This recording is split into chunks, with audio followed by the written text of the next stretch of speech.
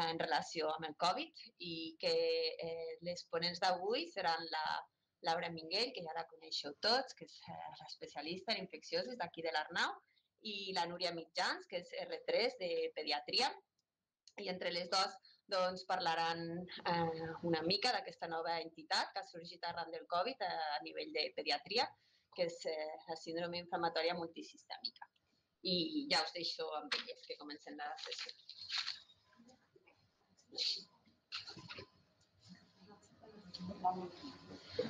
Bon dia, jo com m'ha dit la Núria, la Núria Mitjans, soc resident de pediatria i avui juntament amb la Laura parlarem una mica del síndrome inflamatori multisistèmic associat a Covid. Llavors, per començar a parlar una miqueta de què és, doncs bé, no hi ha una definició internacional consensuada i, de fet, doncs, els diferents organismes han anat posant eh, diferents noms a la mateixa entitat. Així, doncs, la CDC i la OMS li diuen Multisystem Inflammatory Syndrome in Children, que l'abrevien com MIS, a Regne Unit Pediatric Multisystem Inflammatory Syndrome Temporary Associated with COVID, que seria el PIMS, i aquí és el síndrome multisistèmic pediàtric associat a COVID, que és el SIMS. Doncs, tots aquests noms i aquestes abreviatures que veureu que es van utilitzant fan referència a la mateixa, a la mateixa patologia.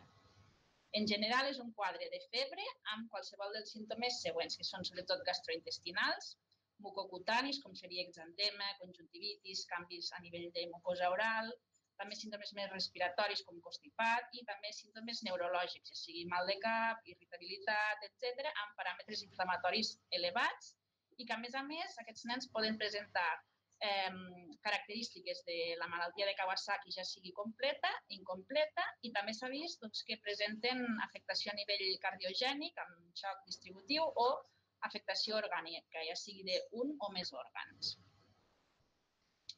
Llavors, com ja hem dit, hi ha diferents criteris diagnòstics segons les diferents societats i no s'acaben de posar d'acord sobretot amb, amb el tema de les temperatures. Doncs, per exemple, els de, els, a Regne Unit diuen a partir de 38 i mig, la CDC considera a partir de 38 i tampoc amb el temps d'evolució de la febre.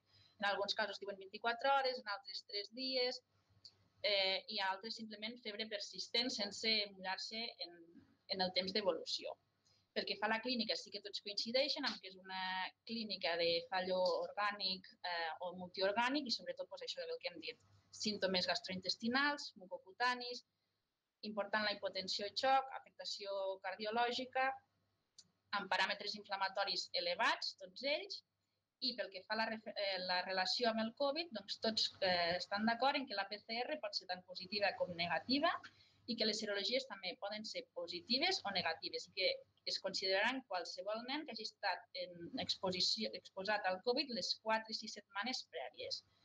Per tant, en l'època epidèmica en què som, doncs, qualsevol nen seria susceptible a patir aquesta, aquesta entitat i sobretot, sobretot, tenir en compte que és un diagnòstic d'exclusió i que, per tant, eh, haurem de, de valorar altres possibles causes.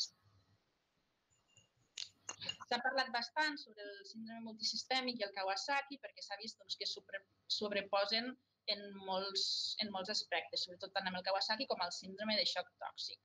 Una miqueta les característiques diferencials en aquest sentit de, dels SIMS, PIMS, seria que afecta nens de més edat, sobretot a partir dels 7 anys, que estan més afectats les ètnies africanes, hispàniques, que augmenten més els marcadors inflamatoris i que, a més a més, doncs, les marcadors d'afectació cardíaca, com són les troponines o el ProBNP, estan més augmentats en el cas dels multisistèmics. Doncs aquí tenim una, una taula comparativa que ens compara doncs, el PIM-SIMS amb el quadre de Kawasaki típic. Com ja hem dit, doncs, l'edat de presentació és, són nens més grans, a nivell d'ètnia doncs, més eh, americans, eh, africans, hispànics, més clínica gastrointestinal, més afectació cardíaca i alteració de la coagulació, amb més freqüència eh, debuten amb un xoc, els marcadors inflamatoris sobretot molt més elevats, els marcadors de funció cardíaca també més elevats i també a destacar que en el cas del Kawasaki la trombocitopènia és rara i en canvi en els simspims es veu en certa freqüència trombocitopènia. Aquest també seria un marcador diferencial. Pel que fa a l'epidemiologia, doncs, el 11 de març del 2020 l'OMS va declarar la pandèmia per Covid El 7 d'abril ja del 2020 es diagnostica al Regne Unit el primer cas d'un lactant amb criteris de Kawasaki que tenia una PCR positiva per Covid i a partir de finals d'abril del 2020 ja, ja al Regne Unit es descriuen diverses sèries de casos de nens amb síndromes d'hiperinflamació i xoc. A partir d'aquest moment, arreu del món hi ha diversos reports de síndromes Kawasaki-like que s'associen temporalment al Covid i és important que tots ells apareixen unes 3-6 setmanes després del pic de Covid en la població local. Doncs amb aquest gràfic el que veiem és justament això, no? són els casos eh, de Covid, els veuríem en blau a la població de, de Regne Unit, de Londres, i en vermell veuríem els casos de multisistèmic, que com veiem doncs, hi ha un delay en l'aparició de casos i del multisistèmic. Aquest retras en la presentació del quadre en relació amb la corba de pandèmia juntament amb la baixa de proporció de nens que tenen una PCR positiva, que serien més o menys un terç, i eh, l'alta proporció de nens amb anticossos positius, que fins un 90% tenen, tenen IgGs positives, ens porta a pensar que el mecanisme fisiopatològic seria una base immune. Com ja hem dit, és un diagnòstic d'exclusió i, per tant, eh, no ens hem d'oblidar del diagnòstic diferencial. Hem de tindre en compte causes bacterianes, altres malalties víriques, també en molts casos poden simular un abdomen agut, síndromes de xoc tòxic, miocarditis, el Kawasaki, altres malalties reumatològiques, un síndrome d'activació macrofàgica, entre molts d'altres. Llavors, una mica el maneig eh, bàsic, el més important seria reconèixer els casos potencials, tenir-ho en compte. Per tant, en tot nen que tingui un quadre de febre persistent, amb la clínica que hem dit, doncs, gastrointestinal, afectació exantema, conjuntivitis, afectació de mucoses, mm, clínica neurològica, més respiratòria i amb una analítica compatible amb eh, inflamació, amb paràmetres inflamatoris elevats, haurem de tindre en compte aquesta entitat.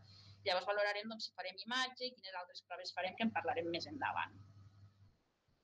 A partir d'aquí hem fet una miqueta un resum del document de, de consens del, del CIMS eh, dut a terme per l'AEPET i totes les societats espanyoles. Llavors, l'assistència i l'estabilització inicial com qualsevol nen greu, doncs ABCDE, a nivell de A, valorar la, la via aèria, administrar oxigen si ho necessiten, monitoritzar, a nivell de doncs, les freqüències respiratòries, són nens que poden tenir una taquipnea per una possible acidosis metabòlica per un xoc, a nivell sobretot circulatori valorar les tensions i sobretot la freqüència cardíaca, que són nens que solen estar taquicàrdics, la perfusió perifèrica, com que són nens que mm, possiblement puguin tindre un xoc que no sabem la causa, posar sempre dos vies i en, davant del dubte començar antibioteràpia empírica, és a dir, és un, la sospita diagnòstica del SIMS no ens pot fer retrasar l'antibiòtic. En cas de que necessitem expansos de volèmia, doncs, eh, càrregues de volum. A nivell neurològic també són nens que poden presentar clínica neurològica, per tant hem d'estar alerta. I a nivell d'exposició també doncs, la clínica cutània que pot estar present. Pel que fa a les proves complementàries, tindrem unes proves que, estaran, que no estaran vinculades al Covid, altres que són vinculades al Covid, proves d'imatge i proves de funció cardíaca. Pel que fa a les proves no vinculades a Covid, seria sobretot l'analítica. I l'analítica veurem, doncs, veurem una leucocitosi amb linfopènia, una anèmia variable i la trombocitopènia, que hem dit que era un tret més diferencial dels SIMS que no sol estar present en els nens amb Kawasaki.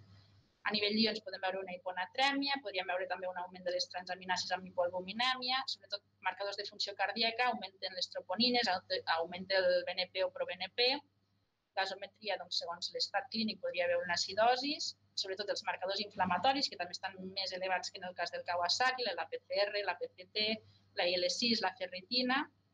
A nivell de coagulació també ens modifica la coagulació, augmentant el fibrinogen, augment significatiu també dels dímers D, i també pot alterar els temps de uh, tromboplastina i trombo... Eh. I llavors, també altres proves que no ens hem d'oblidar, els hemocultius i tot el que siguin doncs, per descartar altres, altres patologies. Pel que fa a les proves vinculades a Covid, tindríem les PCRs i les serologies. Tot nen amb una sospita de multiinflamatòria ha de tindre una PCR que en cas que sigui negativa, si tenim una alta sospita clínica, es podria repetir a les 24-48 hores. I si fos el cas que és un empitjorament respiratori que requereix ventilació mecànica, doncs podria valorar l'aspirat traquial per fer la PCR. Les serologies també, almenys una en tots els nens que, estiguin, que tinguin eh, la sospita diagnòstica de SIMS. Llavors, bueno, tenir en compte que les serologies seran, el rendiment serà superior un 10 dies després de l'inici del, del primer símptoma. Llavors, encara que la PCR sigui negativa i la serologia sigui negativa, si tenim una alta sospita diagnòstica, es poden repetir les serologies 3-4 setmanes després de l'ingrés.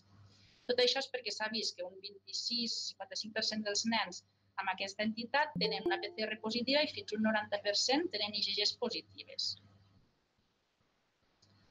Pel que fa a les proves d'imatge, no sempre estan indicades. Estaran indicades en cas doncs, que hi hagi una sintomatologia respiratòria o una exploració patològica. És veritat que, com a tal, la clínica respiratòria no és característica d'aquest síndrome, però sí que fins a un 50% dels casos s'ha vist que podia ser el foc de la infecció o que es pot alterar eh, l'aparell respiratori a causa d'un deteriorament cardíac, per una sobrecàrrega de volum o per augment de permeabilitat. Llavors, valorar segons el cas, si s'ha de fer doncs, radiografia de tòrax, de tòrax, de tòrax, també tenir en compte que són, és un quadre que pot simular un abdomen agut. Per tant, en alguns casos necessitarem fer eh, ecografia o tac abdominal per descartar un abdomen quirúrgic. De fet, s'ha vist que eh, s'ha relacionat els CIMS amb quadres d'heliocolitis. Per tant, doncs, també compte en aquests nens. Pel que fan les proves de funció cardíaca, sobretot tots els nens han de tindre un electrocardiograma que sol ser inespecífic, però que pot mostrar alteracions sugestives d'afectació miocàrdica, com serien doncs, voltatges baixos, alteracions de l'ST, una, una ONQ o un QT més perllongat, poden aparèixer bloquejos o arritmies de tot tipus, Després, com ja hem dit, els marcadors de dany miocàrdic, que augmenten les troponines i el BNP-proBNP, i també l'ecocardio, que s'ha de fer en tots els nens que tinguem sospita. Pot anar des de formes lleus, que l'ecocardiograma sigui absolutament normal, fins a formes greus amb disfuncions de ventricle dret, ventricle esquerre, insuficiències, vessaments pericàrdics o formació també d'aneurismes, com és més típic del Kawasaki. I després hi hauria la ressonància cardíaca, que no es recomana de rutina en el període agut. Bueno, llavors una mica, tot el nen estable amb una sospita de síndrome de SIMS ha d'ingressar a l'hospital. Un cop ingressa, intentarem que estigui una, en una habitació individual, farem un aïllament de contacte i gotes i en principi s'hauria d'entrar amb, amb, els, amb els EPIs. S'ha de monitoritzar de forma estreta perquè és un nen potencialment greu, per tant, doncs, pulsioximetria, tensions, diuresis i hem d'estar alerta farem tractament doncs, de, més de suport, que inclourà els antitèrmics, els antibiòtics, fluidoteràpia, el que necessitem, i a part farem un tractament més dirigit, que després en parlarem. I la valoració cardíaca, com ja hem dit, inclourà l'ecocardiograma, l'electrocardiograma i els marcadors de funció eh, cardíaca. A partir dels valors que tinguem i del que trobem en la valoració cardíaca, aquests s'aniran repetint cada 24 hores, cada 72, segons els resultats. Però són nens que hem d'estar alerta perquè poden ser potencialment greus i en cas doncs, que hi hagi una estabilitat hemodinàmica, que necessitem suport vasoactiu, que hi hagi una, un pitjorament, una alteració del nivell de consciència, etc. Són nens que haurem de derivar en un centre on tinguem una UCI pediàtrica. Vale, ara parlarem una mica doncs, del tractament farmacològic ja enfocat al síndrome multiinflamatori, i al multisistèmic. Tindríem una part que és el tractament immunomodulador, tractament antiviral, el tractament antitrombòtic i tractament amb aspirina. Pel que fa al tractament immunomodulador, de primera línia tindríem les gamma-globulines i la corticoteràpia. Les gamma-globulines estan indicades amb una dosi de 2 grams quilo en dosis única. Però si hi ha inestabilitat hemodinàmica es podrien passar un gram quilo dia durant dos dies. Si tot i les gamma-globulines persisteix la febre, estaria indicada una segona dosi a les 36 hores d'haver acabat la primera.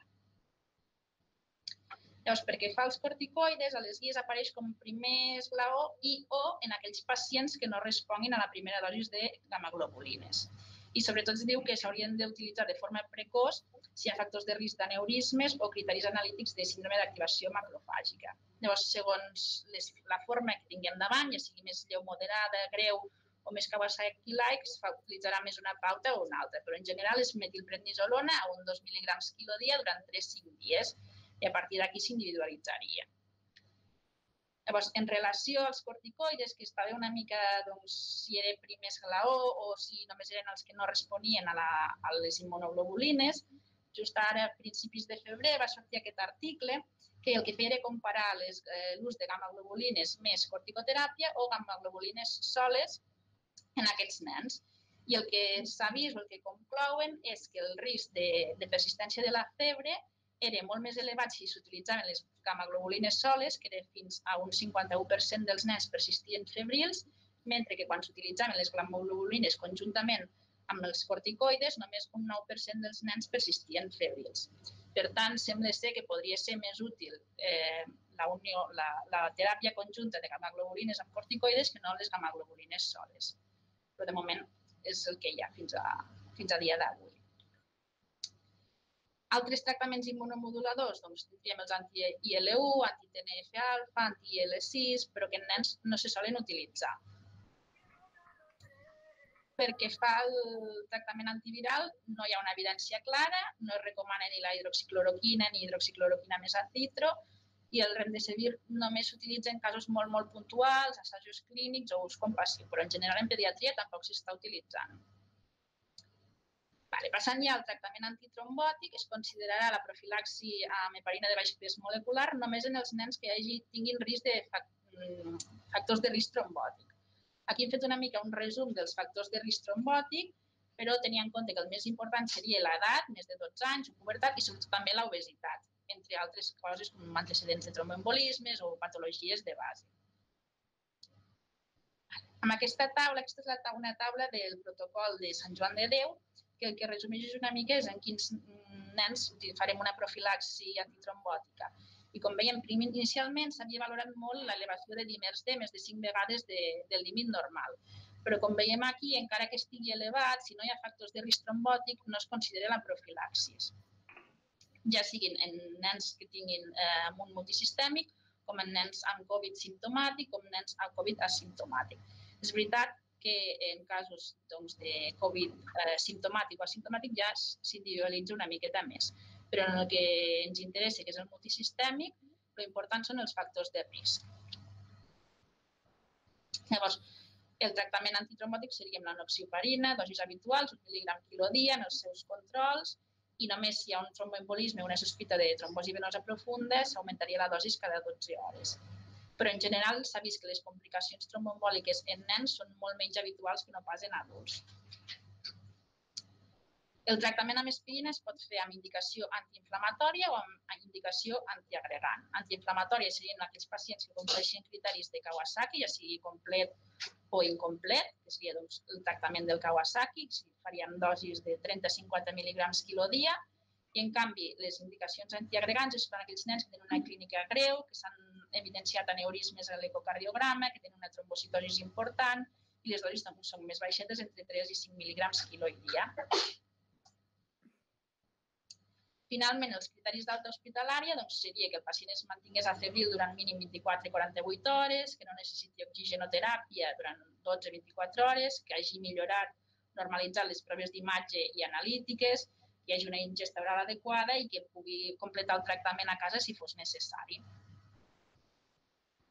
I ara passarem a veure si presentarà un cas clínic. Hola, bon dia a tothom. Jo sóc la Laura Minguell i us presento, després de l'explicació de la Núria, que, que us ho ha explicat molt bé, farem un cas clínic d'un nen que nosaltres vam tindre a, aquí a la nostra planta. Era un nen de 10 anys que va acudir a urgències eh, el dia 3 de novembre per presentar una febre màxima de 39,5, d'unes 72 hores d'evolució, acompanyada de cefalea o d'inofàgia, i una abdominàlgia intermitent. Aquest nen com antecedents patològics no tenia cap antecedent ni perinatològic d'interès, no hi havia al·lèrgies, estava ben vacunat, afegida a Vexero i Prevenar 13, havia ingressat l'any 2016 per una pielonefritis, però amb proves amb ecografia i gamografia renal diferida normal, i sí que al març del 2020 va ingressar per una febre de setmanes d'evolució, d'evolució una mica tòrpida, que al final es va orientar com una infecció respiratòria per micoplasma pneumonià i va evolucionar bé no cap altre antecedent ni antecedent familiar d'interès.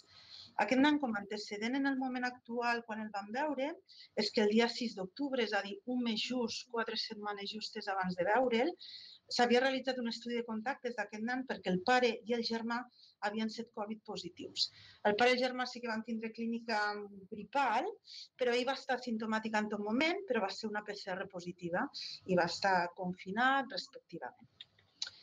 A l'exploració física, aquest nen cridava l'atenció, si veieu, bueno, està de 38 amunt, quan cardíaca tirant a correcta, sí que està betaquimneic, freqüències de 36, recorda que era un nen de 10 anys, amb tensions una diastòlica una miqueta justa, però sobretot mm, cridava l'atenció a estones una mica de taquinea intermitent. A l'exploració a part, com a, eh, com a cridava l'atenció, són tenia adenopaties laterocervicals, però eren subcentimètriques, petites, però tenia una hiperèmia conjuntival bilateral bastant franca, amb un edema palpebral superior i inferior d'amb dos ulls, amb uns llavis hiperàmics, fissurats i una hiperàmia del palmell de les mans i una lleu d'escamació del palmell de la mà dreta, sense altra cosa, una escoltació normal, un abdomen que explicava un abdominal intermitent, però un abdomen eh, no patològic a l'exploració.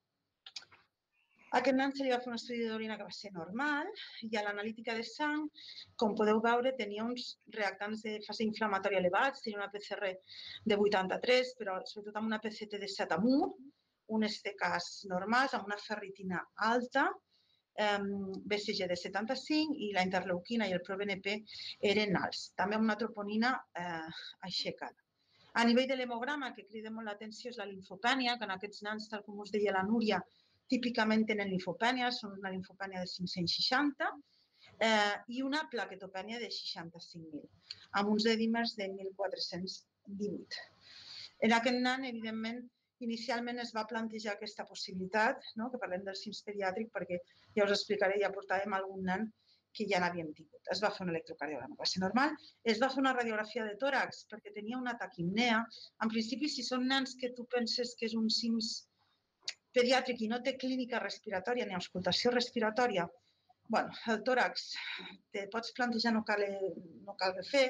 El que passa és que com que tenim reactants de fase aguda elevats, doncs per descartar pneumònia associada o, i, i no sé, tractar-se d'un pins, doncs es va fer en aquest cas. Va ser normal. Es va tornar a fer una PCR positiva. Recordeu que us he comentat que el 6 d'octubre, o sigui, fer quatre setmanes, ja era positiva. Es va fer PCR dels altres virus que van ser negatius i es van cursar cultius Perquè no matí ja. i serologies eh, a, a fer final el Covid-19. Sí, podem tancar el micro, porfa, que hi ha algú que... Gràcies. Llavors, aquest nan amb tot això es va decidir ingressar, es va ficar una perfusió inicialment antitèrmics i cefotaxima. Per què? Perquè tenia reactants de fase aguda elevats amb sospita eh, sense poder descartar infecció bacteriana. Com comentava la Núria, també aquests casos, si tu no pots descartar una infecció bacteriana, sempre mm, jo crec que com a primera elecció fiques antibiòtic i en el moment que tens cultius negatius i en el moment que pots descartar i no tindre tanta probabilitat d'infecció bacteriana, ja retire i, i ja està. Però és un dubte entre cometes existencials que aquests nens, la majoria, com que tenen reactants de fase aguda, doncs pot passar. Sempre estem atents, en 48 hores es retire i ja està. Aquest nen es va fer un ecocardiograma, com es comentava, va ser normal, i els cultius van ser negatius i la serologia, com podeu veure, tenia una serologia positiva. És a dir, era un nen que tenia una PCR positiva i serologia positiva, que aquest nen feia quatre setmanes se li havia fet una PCR, ja sabeu que hi ha gent que està setmanes i setmanes amb PCRs positives. Aquí la Núria comentava que són nens que s'han d'aïllar. bueno, Aquí és on ve una mica el problema i, i és una discussió que hem tingut tots aquests mesos nosaltres a l'hospital de on col·loques aquests nens, si a la planta Covid o no. En principi, la decisió més o menys última és que aquí es fan, fan una prova de microbiologia que fan com un dintell per saber si aquesta càrrega viral, si és infecciós, i en principi poden determinar amb això de no col·locar-lo a la planta Covid i deixar-lo a la planta. Aquest nen es va quedar a la nostra planta de pediatria amb un aïllament, però no va estar a Covid. I, en principi, si tens un nen de fa més de 14 dies una PCR positiva amb una serologia positiva, podries dir que no hauria d'estar aïllat amb una, amb una planta Covid. Llavors aquest nen se va quedar planta. Però és un dubtès i que amb el temps doncs, bueno, ho hem anat modificant, però que costa una miqueta al principi. Llavors, tal com es comentava, aquest nen teníem, teníem febre i teníem varis d'aquesta clínica compatible amb uns cims. No? Tenia eh, dolor abdominal, tenia aquesta conjuntivitis, eh, les fissures, no? fissura labial i tenia eh, aquesta cefalea.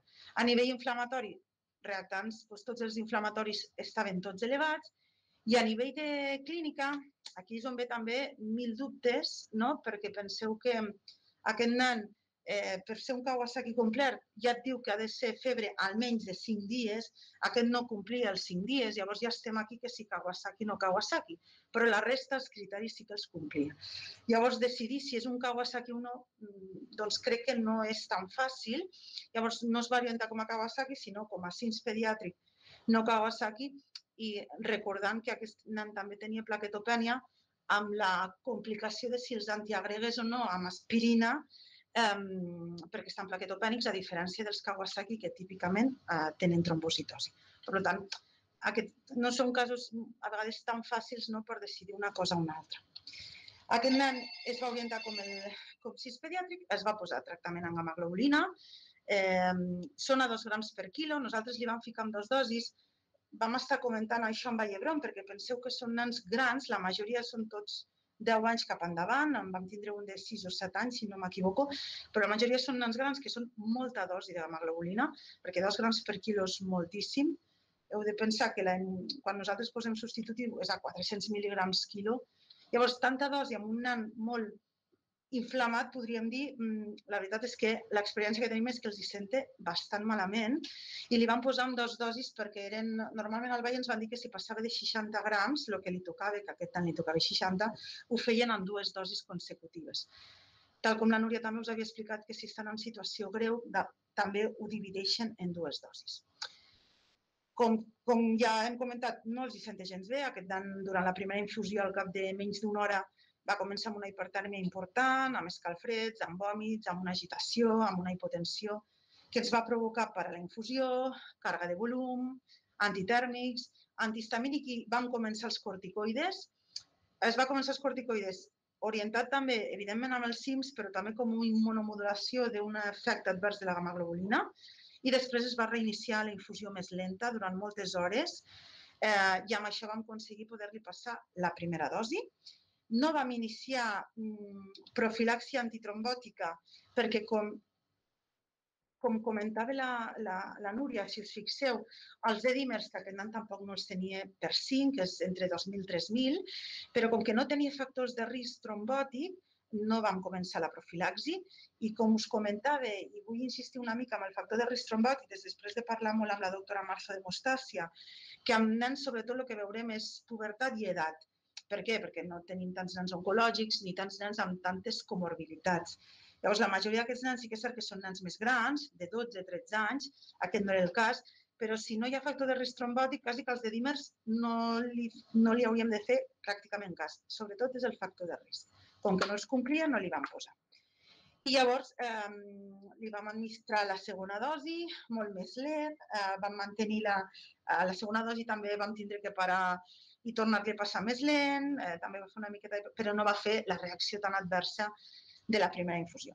Es va mantenir amb corticoteràpia mm, a 1 per quilo, que les guies fiquen entre 3 i 5 dies, fins i tot hi ha llocs que posen més dies i ho van fer 4 dies, i aquest nen, la veritat és que l'evolució es va quedar febril a les 24 hores de la segona dosi i va millorar clínicament, es va quedar asimptomàtic, va desaparèixer eh, la hiperèmia conjuntival, el raig, la clínica, i a l'alta es va altar amb una analítica amb reactants de fase aguda ja baixos, la linfopènia havia millorat, les plaquetes s'havien normalitzat i es va altar al sisè dia d'ingrés.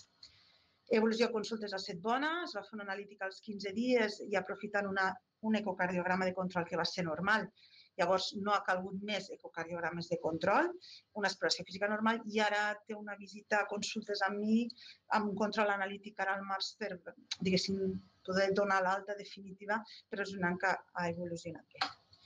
Llavors, aquí a Lleida, com, com tenim fins ara? Nosaltres hem tingut vuit casos demostrats i tractats. Hi havia dos o tres casos més que no es van acabar de confirmar i no es van tractar, però tractats i confirmats han set vuit. Quatre d'ells, o sigui, un 50%, han requerit trasllats a pediàtrica.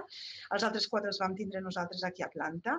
Un va ser una fallida multiorgànica, que si no m'equivoco va ser el segon cas que vam tindre, que era un, un nen africà d'uns 12-13 anys, que aquest nen va requerir teràpia de substitució eh, renal i una, una altra de sis anyets també africà, el que comentàvem que africans, sud-americà, sembla que tenen més risc eh, genèticament de patir més complicacions amb el Covid, en el qual eh, el tema de PIMS, i un de sis anyets la, va ser aquest de l'alteració neurològica.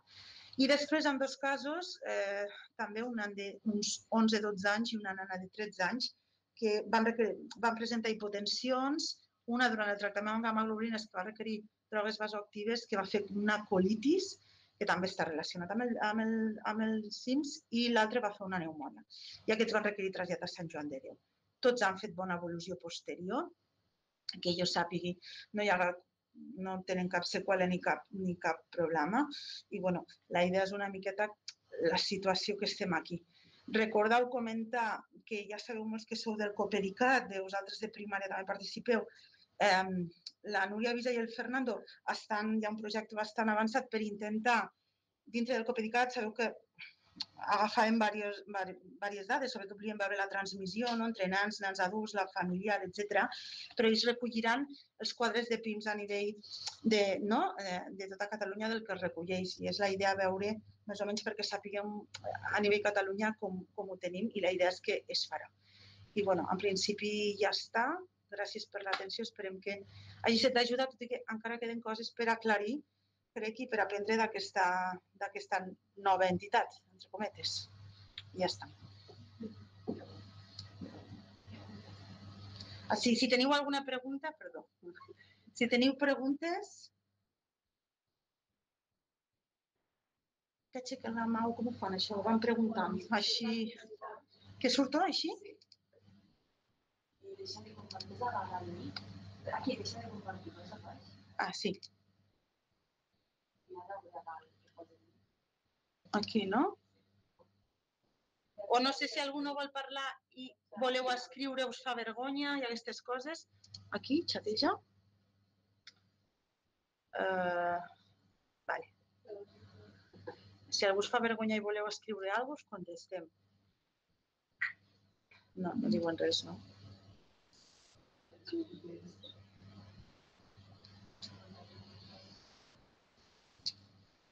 Se'l diuen gràcies. ah, mira, aquí. Signes que, el francès pregunta, signes que a primària ens han de fer derivar un infant que ha passat Covid? Idees com a resum, si us plau. Bé, bona pregunta, eh? bona pregunta, perquè clar, el problema que vam veure, quan vam començar a veure algun, vam dir, puf, ara tot nen que hagi passat un Covid fa 4 o 6 setmanes, la majoria tots s'ha de dir, quasi tots eren asimptomàtics a l'inici, tenen febre, s'ha de derivar sí o sí. bueno, Eh, bona pregunta. Jo crec que si és un nen que hi ha una història molt clara o, o que teniu la PCR, perquè ara com que fan PCR a tothom, eh, de fa 4 o 6 setmanes, i té una clínica sugestiva compatible, que podria haver un PIMS, és a dir, un nen que porta més de dos o tres dies amb febre o té doncs, això, afectació sobretot gastrointestinal, eh, doncs jo crec que sí que val la pena derivar, bàsicament per fer una analítica. Amb l'analítica ens ajudarà molt perquè tots aquests han tingut reactants de fase aguda molt elevats i llavors valoraríem jo ho deixaria resum així, perquè evidentment si teniu un, un nen de 12 anys que té una febre però té un foco clar i per molt que hagi passat un Covid fa un mes, doncs no, però si podria ser-ho, sí que valdria la pena fer, fer control. Després, què diu més? Quin temps màxim està descrit des del contacte fins presentar els CIMS? Màxim, bueno, nosaltres hem vist unes sis setmanes, entre 3 i 6 setmanes aproximadament. Ah, mira, la planella ja contesté. Molt bé, planella. Vale. ja està. I ja està. És una fenòmena.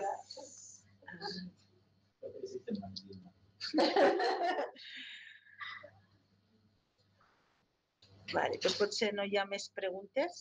Núria, què fa? Ja... Sí? de, entenc que ara les caus que tinguem d'entrada ja seria que també corticoteràpia, no? Clar, aquest estudi que s'ha vist, sí. sembla que va millor. Jo, sí, aquí a la sala pregunten que si ja hauríem de començar amb corticoteràpia a part de la gamma-globulina i no deixar-ho com a segona escala. Jo, sincerament, opino que sí, ficar els dos tractaments. Si us fixeu en els casos greus ja ho posaven també com a primera.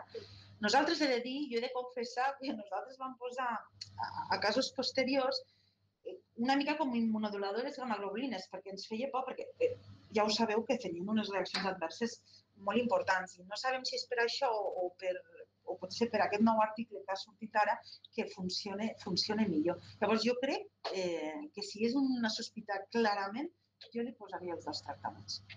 I segons els articles que, que estan sortint.